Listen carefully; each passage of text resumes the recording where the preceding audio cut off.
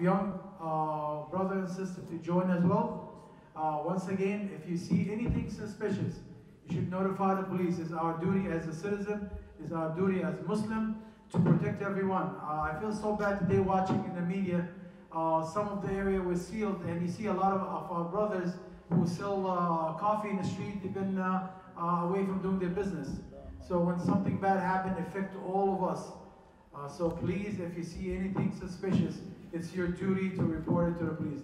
Jazakumullah khair. Wassalamu alaikum warahmatullahi wabarakatuh. ITV, Call of Peace, Save Humanity.